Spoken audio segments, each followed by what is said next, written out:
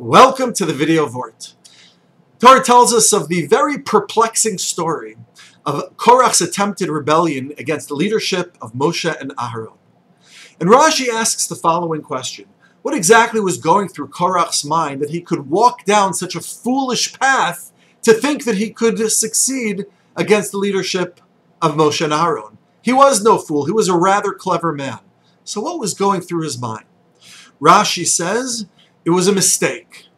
It was a mistake based on a nevuah, a vision, a prophetic vision that he had, where he saw that coming from his, uh, from his lineage in the future, his progeny would include the famed great Shmuel Hanavi, who, uh, who, the, who the Torah tells us, uh, Tehillim describes, Moshe v'Aaron b'chohanav u'Shmuel b'korei Shmo, that Shmuel is on par with the greatness of Moshe and Aaron.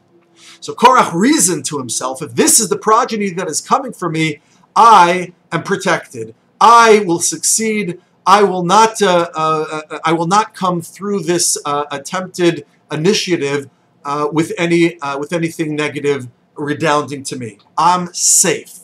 And this what was going what was going through Korach's mind.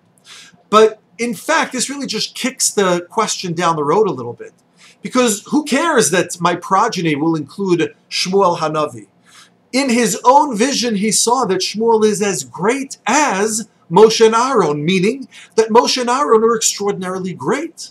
So why would Korach think that uh, he should uh, be able to succeed against Moshe and Aaron because of some progeny that is coming generations later? And I think the answer is embedded within the words of Rashi, what Rashi is getting at uh, uh, on, a, on a deeper level.